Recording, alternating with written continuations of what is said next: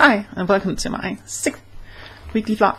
Um, we just turned into more of a Monday, Tuesday thing rather than a, what was supposed to be a Friday, Saturday thing. But apparently my weekends are so busy now that I don't really have time to, shut up, I don't really have time to um, record and upload um, until uh, the the week. So this week is just gonna be a little casual. I need to talk about stuff that happened in my life, and um, I suppose I can talk a little bit. I had something that I wanted to talk about, kind of. Um, so let's just get into it. This weekend, I was at something that they choose to call a, an openness festival um, here in Aarhus, where I live. Um, I went as a representative for LGBT youth uh, group that I am part of, even though I'm slightly too old.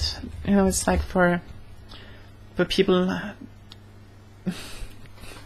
up to 25 years, and I'm 26, but I get like a free pass because I didn't really have a lot of chance to be in it when I was 25. So, and I relate a lot to um, the people in it because I don't really feel like I'm 26. Um, I don't know why. Um, so anyway, I went there, and it was about um, it was about openness. They had some representatives from different groups that are probably met with um, prejudice and um, okay, the kitty is making noise. Then let's just ignore that. She's hyper. Um, groups that are met with prejudice and um, you know just lack of understanding. Um, there were only three groups represented here because it was the first year that I held this, and it was um, a small scale. I mean, there, there could possibly have been one, one more uh, representative, but it was it was pretty packed um, already. Um, so there were a um, an organization for homeless people in Denmark. There was a guy from um, Protestant Youth in Denmark, and then there was me from LGBT youth in Aarhus. Um, and it was just like people could come up to you and talk about um, what what you're about, you know, what kind of prejudice and um, what kind of other problems you faced in in your daily life, and if you ever you know met with hate or misunderstanding, and you know I could talk a lot about um, the general stuff that LGBT people face, like um, just small. I talked about how you know the small implied things like people putting people in boxes, like if someone is homosexual, then they are in the homosexual box, and forgetting that there are so much more to every person. Like I was talking about last week, like you're not just whatever people use to describe you. You are a person, and um, it's hurtful when people just use that one part of your identity to to um, to describe you, kind of. Um, and I just also told them my story, and some of them were like, "What you are? You weren't born a girl." And I don't know if they were trying to flatter me or anything, but um, so anyway, I'm sorry, I'm, the lighting is way different here because I'm recording this kind of a night. I just, I was just at movies, um, with a friend. Um, and this is something that I wanted to talk about, uh, because I was kind of, I was um, made aware of it at the, um, at the Openness Festival. Like, people asked me if I had had a hard time making friends and I had to tell him, yeah, I actually did. Like, I felt wrong about myself since, you know, before puberty, but especially during puberty and the um, the early adolescent years. I felt like I was I was wrong. Um, I didn't know who I was. I mean, I guess a lot of people don't know who they are, but I felt like I was I was having to pretend to be someone that people would um, would want to to be with. Um, and you know that caused me to to feel like I wasn't really connecting with people, if that makes any sense. Like like I was showing them something that wasn't me. Like I was lying to them, and it made it really hard for me to to keep these relations because I never felt like I was myself. It was annoying to be someone else all the time. Um, like people get shocked when they hear that I I don't have any friends that I talk to from from my old town at all. All colleagues. You know, I've just I've thrown them all away um, because I didn't feel like they actually knew me, and I was afraid that they, if they knew the real me, that they wouldn't want to be with me. So I just cut them out first, which is stupid. I know, but it was the way I thought.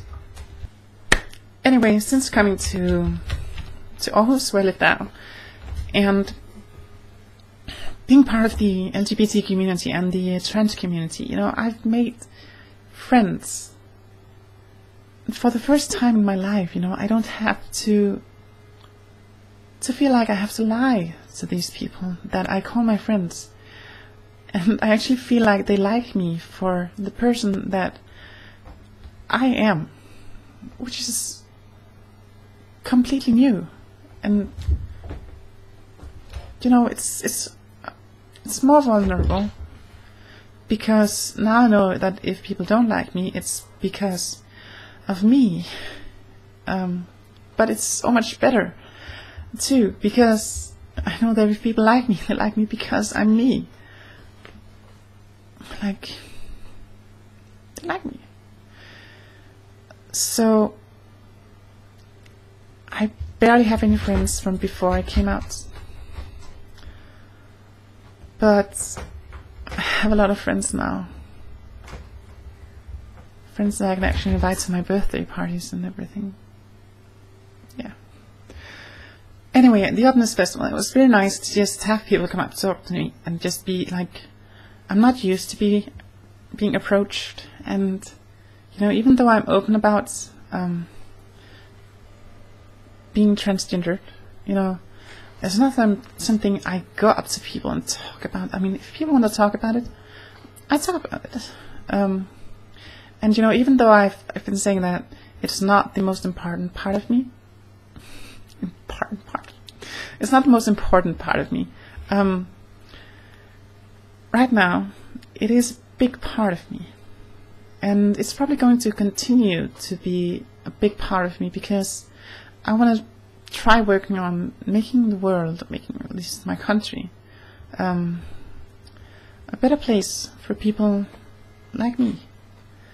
Um, I have toyed with the thoughts of, you know, going stealth. Um, just once I finish my transition, just living completely as a woman with everything that entails. I realize this shirt is not the woman thing I have to go. Androgynous today. I like it. Um, but I want to help people. And I'm not sure I can do that if I'm not open about who I am. And, you know, what I am.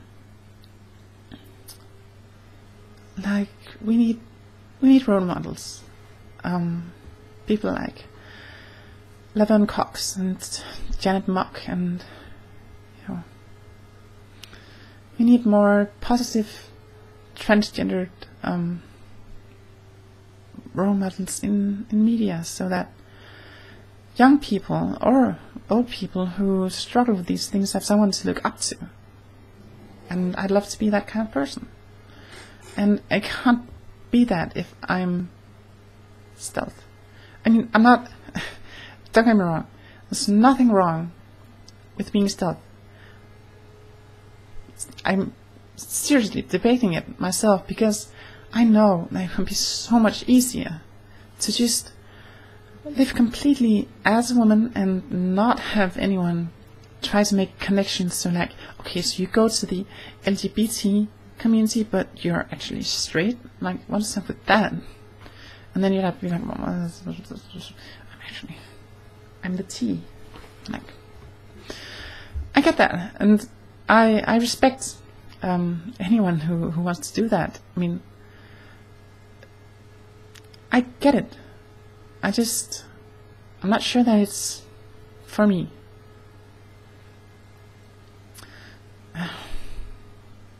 I'm not sure I could uh, do that.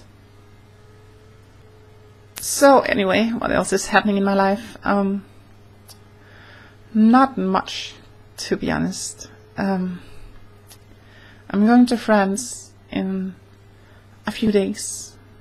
Um, probably I'm going to my parents the day after uploading this.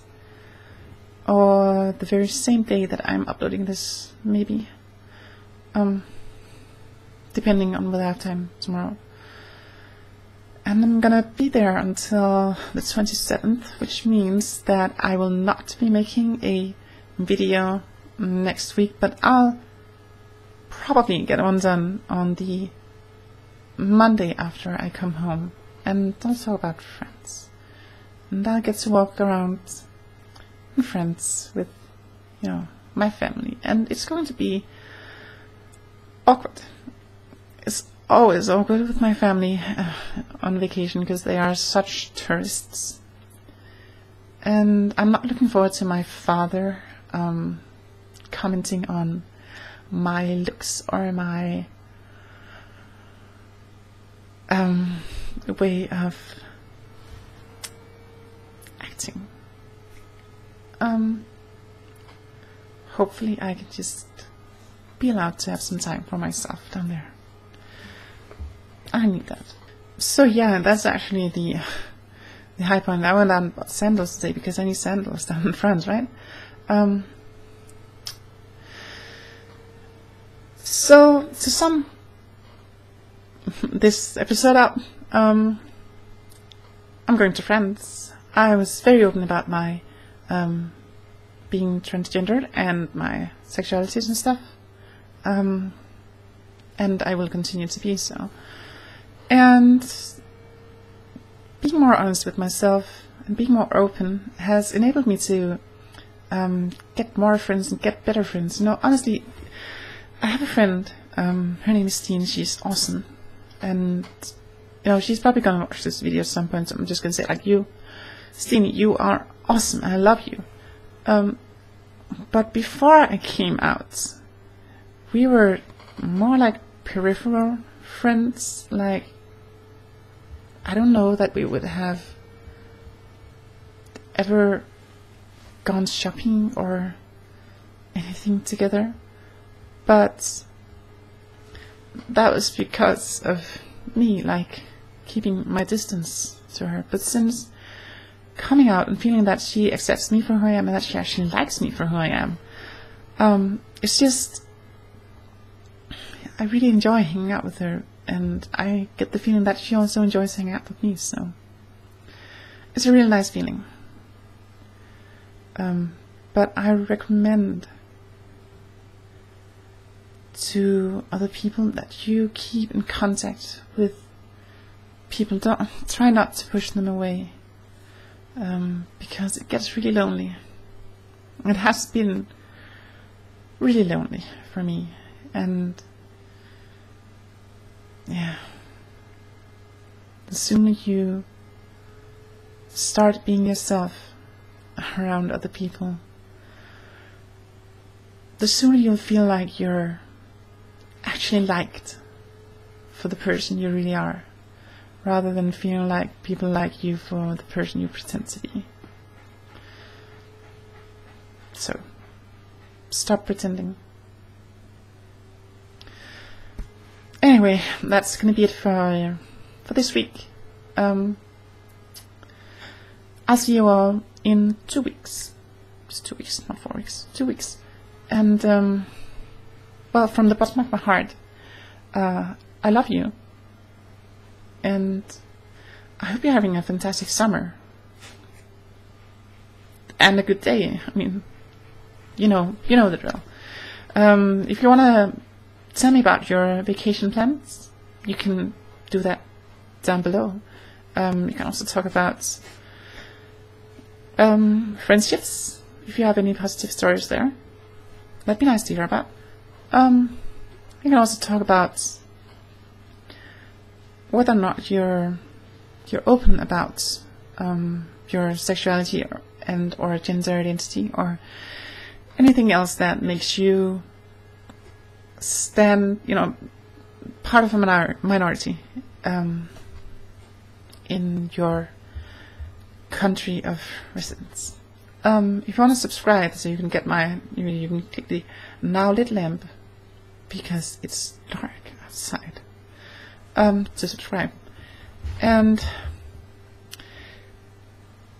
if you want to watch my sister channel once it comes up, which it's it's going to happen. It's going to happen, but uh, it might be in August sometime. So like next month, um, you can click this uh, these empty wine bottles and wine glass.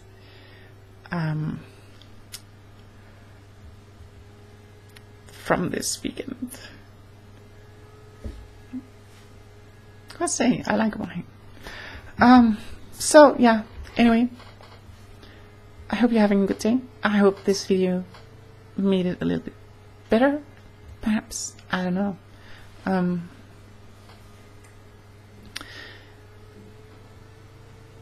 I don't know what else to tell you. Is there a go home message? Um, I already told you. Um, just be yourself and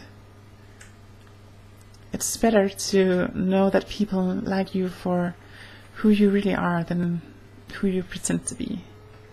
Um, even though it's very scary. Trust me. I know. Um, so yeah. Stay strong and enjoy the summer. Bye.